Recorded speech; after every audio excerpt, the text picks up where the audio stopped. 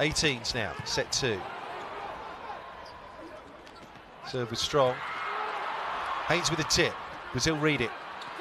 Then serve the opposite. That's a, a push tip on the cross court, which Haynes is able to dig up.